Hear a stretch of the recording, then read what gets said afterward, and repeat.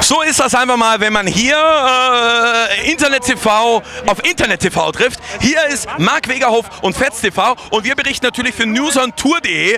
Und ich sag mal so, wenn beide auf einmal moderieren, dann hat das so eine Dynamik, das ist einfach unbeschreiblich. Beide reden, beide sprechen über das gleiche Thema fast, aber es ist trotzdem nicht das gleiche, weil unterschiedlich die Kamera äh, auf uns zeigt und man kann von hier drüben mal Hallo sagen und dann auch. Viele Grüße erstmal, äh, News on Tour. Und wir gehen einfach mal hier hinten rum.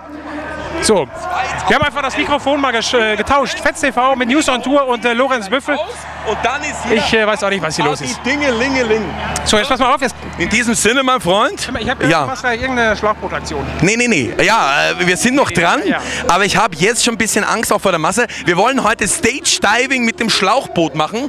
Und das wird schon eine Nummer. Da muss ich ehrlich mal sagen, ich habe schon viele verrückte Sachen gemacht. Ne? Aber pff, das wird hart.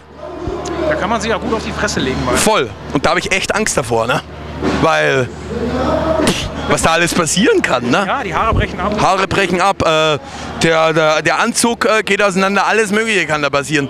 Die Interviews alle vorher machen. Ne? Deswegen jetzt alles schnell reinziehen, weil vielleicht komme ich nie wieder zurück. Dann ist das ja eigentlich auch besser, dass wir das alle irgendwie zusammen machen. Ja.